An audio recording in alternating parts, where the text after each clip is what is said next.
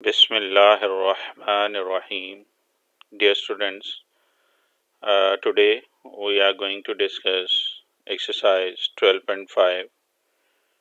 Uh, 12.5 को आज हम डिस्कस करेंगे बट उससे पहले uh, बहुत इम्पोर्टेंट दो प्रूफ हैं हमने 12.4 में साइन uh, लॉ प्रूव किया था आज के लेक्चर में हम कॉज और टेंजेंट लॉ को प्रूव करेंगे और फिर हम एक्सरसाइज की तरफ़ चलेंगे तो जो पहला प्रूव हम कर रहे हैं, वो है आपके पास the law of cosine law of cosine आपके पास क्या होता है?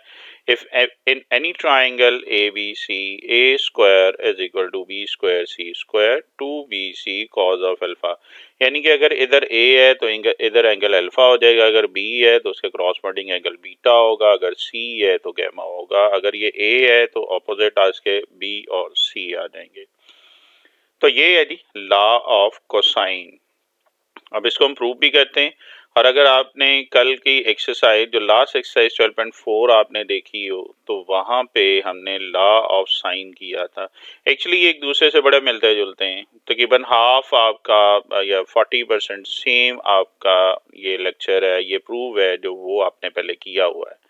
वहाँ पे भी अगर आप देखिएगा तो हमने सेम चीज़ ली थी let A C B align along positive X axis with origin at A तो एक्स एक्सेस है वाई एक्सेस है ओरिजिन हम ए पे ले रहे हैं, और फिर वो ये कह रहा है कि ए सी जो है ये पॉजिटिव एक्स एक्सेस पे है। इसके बाद हमने क्या बोला था? बिल्कुल पिछले प्रूफ की तरह B A C in standard position where is B this is your point B so B A C angle जो है, अगर आप देखें, ये बी ए और सी ये स्टैंडर्ड पोजीशन में मीन एक्स एक्सिस से एंगल बना रहा है। यहाँ तक सेम है जी। नेक्स्ट अगर आपको याद हो तो हमने ये कहा था कि ए बी जो है, वो साइड सी के इक्वल है। कैसे? ये कैपिटल सी है तो इसके सामने क्या आ जाएगा? स्मॉल सी आ जाएगा। और जो एंगल बी ए सी है, वहाँ पे भी हमने अल्फ़ा ही बोला था, क्योंकि ए है तो एंगल आपके पास क्या आ जाएगा? ये अल्फ़ा आ जाएगा। तो यहाँ तक ये बिल्कुल सेम है जी, आगे चलते हैं। अगर ये अल्फ़ा है तो कोऑर्डिनेट ऑफ़ बी क्या हो जाएँगे? आपको याद होगा, मैंने पिछले भी थ्योरम में बताया था एक्स एक्सेस को हम कॉस से रिप्रेजेंट करते हैं वाई कोऑर्डिनेट को हम साइन से करते हैं तो ये क्या आ जाएगा? सी कॉज अल्फ़ा और सी साइन अल्फ़ा तो ये किसके आ गए जी? ये बी के कोऑर्डिनेट आ गए चलें जी आगे। अब हम क्या कह रहे हैं जी? देखिएगा। हम सिर्फ़ इनकी साइड्स पूरी कर रहे हैं कि अगर ए है तो हम ए कैपिटल ए है तो इसके अपोजिट ए आ जाएगा अगर बी है तो इसके अपोजिट बी अगर सी है तो अपोजिट क्या आ जाएगा?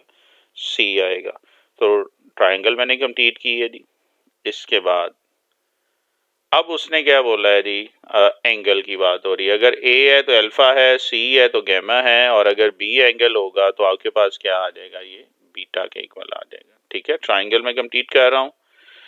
अब ए सी जो है, ये बी के इक्वल है। यहाँ से लेकर यहाँ तक लेंथ जो ए सी है, ये ये येलो कलर में ये बी है। बी कैसे है जी? कैपिटल बी है तो इसके सामने स्मॉल बी होगी।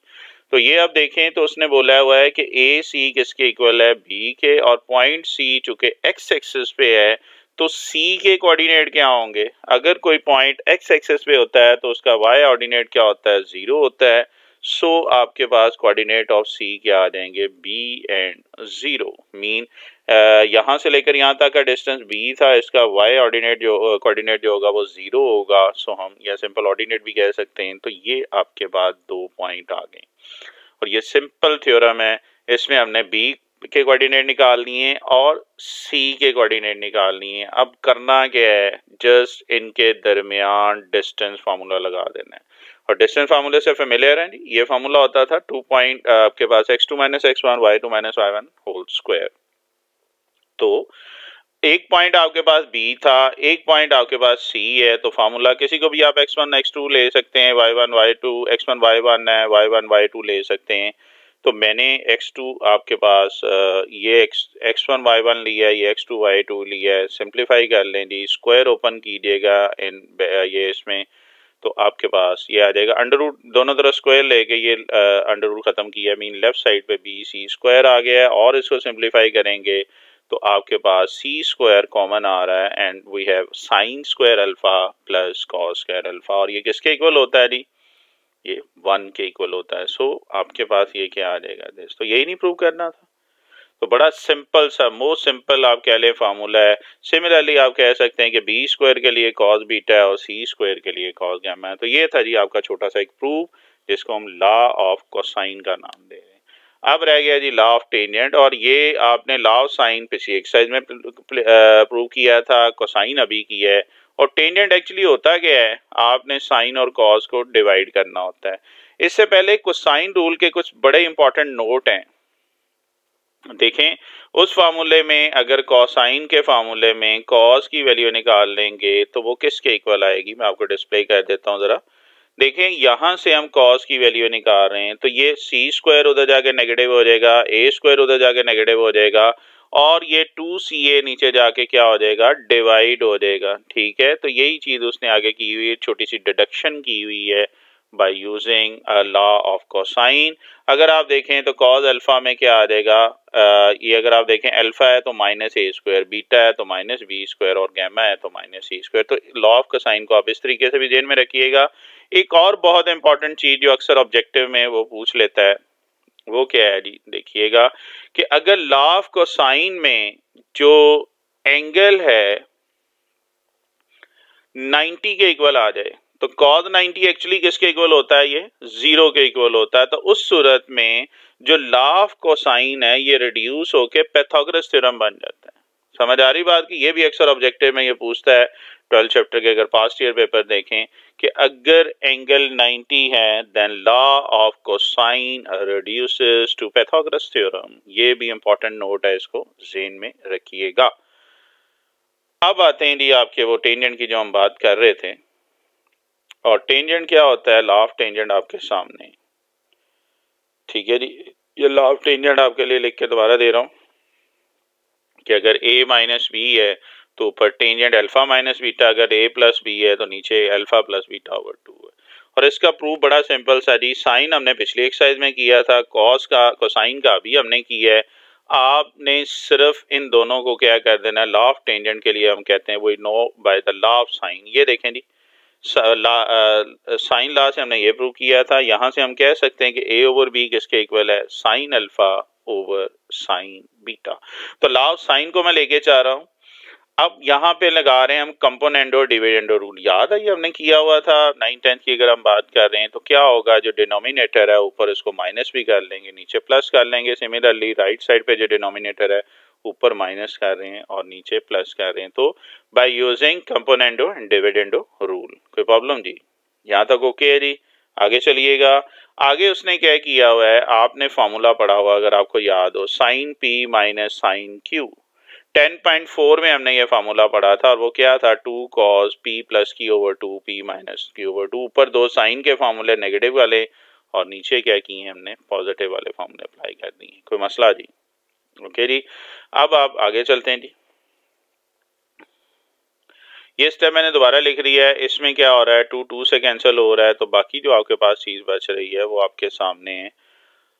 दिस ठीक है जी तो क्या किया है? ये आ जाएगा sine alpha over two over cos alpha over two this divided by ये कॉज को उठाएँगे और इस साइन के नीचे ले जाएँगे ये वाला कॉज उठाएँगे साइन के नीचे तो अगर आप देखें तो प्लस वाले डिनोमिनेटर में आ गए और माइनस वाले उसने क्या कर दिए ऊपर कह दिए so sine alpha minus beta over two अगर आप इनको क्रॉस ये करेंगे सिंप्लीफाई करेंगे तो यही चीज़ आ जाएगी। अब ये हमने इसलिए किया है कि साइन ओवर कॉज किसके इक्वल होता है? एक्चुअली ये टेंजेंट के इक्वल होता है।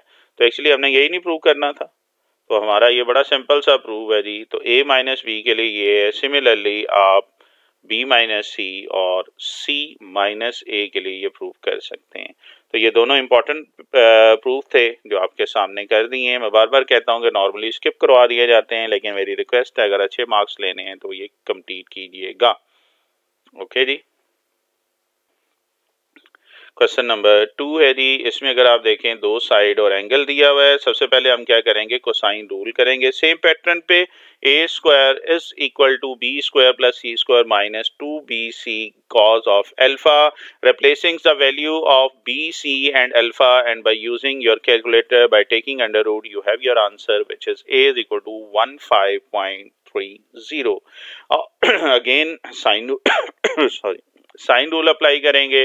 और साइन रूल में अगेन तीन चीज़ें आपके पास गिवन है। फोर्थ वन आपने फाइंड करनी है कैलकुलेटर को यूज़ कीजिएगा तो बीटा आपके पास क्या आ जाएगा? और अब फिर क्या आएगा? सम ऑफ़ द एंगल का फार्मूला लगाएँगे और थर्ड भी आ जाएगी। तो ये जी पहले आपके जो फाइव क्वेश्चन है, ये सी टाइप के ओके अब चलते हैं। क्वेश्चन जो डिफरेंट है, वो है जी क्वेश्चन नंबर सिक्स से स्टार्ट हो रहे हैं। उसने ये कहा है क्वेश्चन नंबर सिक्स में अगर आप देखें तो वो कह रहा है solve the following triangle using first law of tangent and then law of sine यहाँ पे कोसाइन का वर्ड नहीं उसने यूज़ किया। मीन आपने फाइंड करने हैं जी ट्राइंगल को सॉल्व करना है बट उसने कंडीशन लगा दी है। You have to solve this by using law of tangent then law of sine तो हम इसको इसी तरीके से करते हैं जी। ये क्वेश्चन आपके पास दिया हुआ है सोल्यूशन की तरफ़ आएँगे। हमें पता है sum of the angle of a triangle is equal to 180 होता है, लेकिन हमें सिर्फ़ एक एंगल दिया है विच इज़ गैमा तो आप गैमा को उठाएँ, सिर्फ़ ले लें 180 से सब्ट्रैक्ट करेंगे तो ये एक इक्वेशन आपके पास आ जाएगी। Alpha plus beta is equal to 135 degree 31 minute any problem जी? तो सबसे पहले जब भी लॉ ऑफ़ टेंजेंट है तो अल्फ़ा प्लस बीटा या बीटा प्लस गैमा या इसकी आप इक्वेशन बना लेंगे। अब हम क्या करेंगे? इस इक्वेशन को आगे हम यूज़ करेंगे। और यूज़ कैसे करेंगे? वो आपके सामने है। कौन सा रूल लगा रहे हैं? लॉ ऑफ़ टेंजेंट लगा रहे हैं। और चूँकि ए बी था तो अल्फ़ा बीटा था तो ए बी वाला फार्मूला लगा है। आपके पास ए की वैल्यू भी है, आपके पास बी की वैल्यू भी है, आपके पास अल्फ़ा प्लस बीटा की वैल्यू भी है। तो इसको हम कैलकुलेटर से सॉल्व करेंगे लेफ़्ट साइड को। This minus this this minus this और टेंजेंट इसको आप डिवाइड कर लें टू पे। कैलकुलेटर से सॉल्व करें। अब क्रॉस मल्टीप्लाई करें जी इसको उधर जाके मल्टीप्लाई कर दें तो आपके पास ये आ रहा है। इसका आप इनवर्स ले लें because we have to find alpha minus beta तो टेंजेंट इनवर्स को डिग्री में कन्वर्ट करने के बाद ये टू जो है, ये डिवाइड हो रहा है। ये डिवाइड हो रहा है, उधर जाके क्या हो जाएगा? ये मल्टीप्लाई हो जाएगा। तो हमने क्या किया? इसको जाके मल्टीप्लाई किया है। आपको याद होगा, पिछली स्लाइड में हमने इक्वेशन नंबर वन कही थी। ये इक्वेशन नंबर क्या आ गई है? टू आ गई है। वो इक्वेशन आपको याद होगा अल्फ़ा प्लस बीटा की फॉर्म में थी और ये इक्वेशन क्या है? अल्फ़ा माइनस बीटा की। आपको एक्चुअली चाहिए क्या है अल्फ़ा और बीटा आप इन दोनों इक्वेशंस को क्या करें? ऐड कर लें। तो आप देखें ये इक्वेशन वन थी, ये इक्वेशन टू है। ऐड करेंगे तो कौन सी चीज़ कट रही है जी? बीटा कट जाएगा।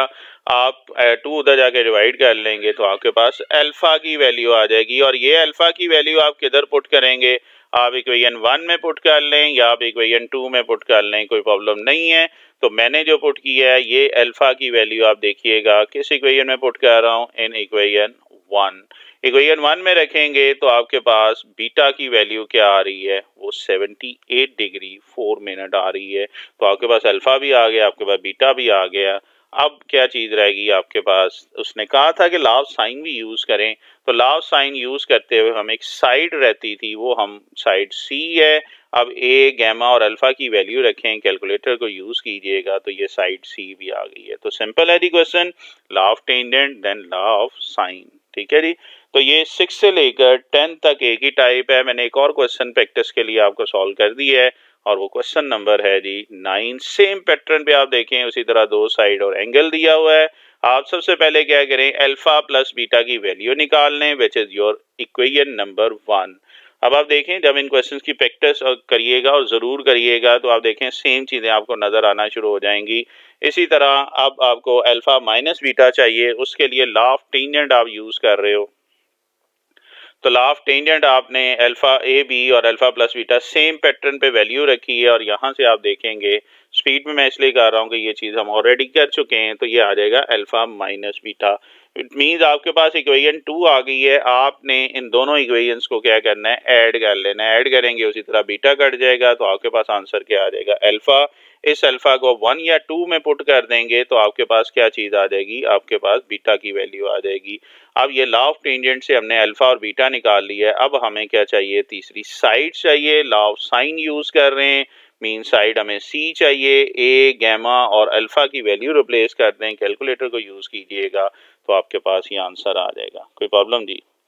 तो ये टेन तक आपके पास ये इस टाइप के हैं सिक्स टू टेन अब चलते हैं जी लास्ट दो क्वेश्चन है इंपॉर्टेंट अक्सर ये पेपर में रिपीट हो चुके हैं पास्ट ईयर की बात कर रहे हैं, और क्वेश्चन नंबर अब मैं कह रहा हूँ क्वेश्चन नंबर अलेवन अलेवन क्या है जी? Mayor of two sides of a triangle are in the ratio three two दो साइड है जी, और इनकी रेशो दी हुई है थ्री टू और इनका जो इंक्लूडेड एंगल है वो फिफ्टी सेवन है। आप पहले तो डायग्राम इसकी बनाए। डायग्राम ज़रूर बनाइएगा। Let the two sides A and B हमने उसकी रेशो दे दी है। ए और बी की रेशो आपके सामने आ रही है और वो क्या आ रही है? थ्री टू ए बी की रेशो करने से पहले हमने कैपिटल ए बी सी लिखा है। तो ए के कैपिटल ए के सामने स्मॉल ए होगा बी के सामने स्मॉल बी और सी के सामने क्या होगा? स्मॉल सी बट हमें ए और बी दिया हुआ है। और इसका इंक्लूडेड एंगल है। इंक्लूडिंग मीन जो इसके अंदर एंगल है सी है तो वो एंगल क्या हो जाएगा? ये गैमा के इक्वल होगा तो एंटी क्लॉकवाइज डायरेक्शन ले रहे हैं तो गैमा आपके पास क्या आ जाएगा? 57 और आपको याद है, अगर दो साइड और उसका इंक्लूड एंगल दिया हो तो हम कौन सा फार्मूला लगाते थे? कुछ याद आ रहा है? चले आप पहले याद करें, इस तीसरी चीज़ निकाल ली है। Sum of the angle of a triangle आपके पास इसके इक्वल होता है तो अल्फ़ा प्लस बीटा की वैल्यू उसने क्या की है? सबसे पहले फाइन कर ली है, क्योंकि हमने इसको आगे यूज़ करना है। कोई प्रॉब्लम जी। ओके, चलें जी, आगे चलते हैं। जी laugh tangent alpha plus beta आ गया है, जिस तरह हमने पिछले दो क्वेश्चन किए हैं तो ए बी भी आपके पास है अल्फ़ा प्लस बीटा भी आपके पास है। आप इसको कैलकुलेटर से सॉल्व करके क्या करेंगे, जिस तरह हमने पिछले दो क्वेश्चन में अल्फ़ा माइनस बीटा की वैल्यू निकाली थी, आप इसकी भी वैल्यू निकाल लें।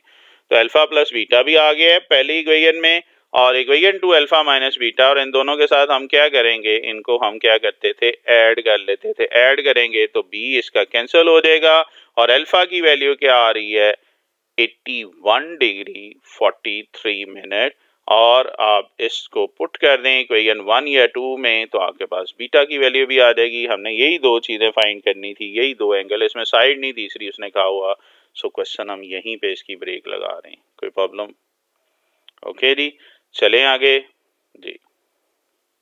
लास्ट क्वेश्चन और बहुत इंपॉर्टेंट क्वेश्चन है। टू फोर्सेज है जी वेक्टर से रिलेटेड है। 40 newton and 30 newton are represented by A B and B C दो फोर्सेज हैं और जिसको ए बी और बी सी से रिप्रेजेंट कर रहा है तो ये ए बी आपके पास फोर्स नज़र आ रही है, ये बी सी है। ए बी आपके पास जो है, वो क्या कह रहा है वो ये 40 न्यूटन है। आप डायग्राम पर काइंडली फोकस करिएगा।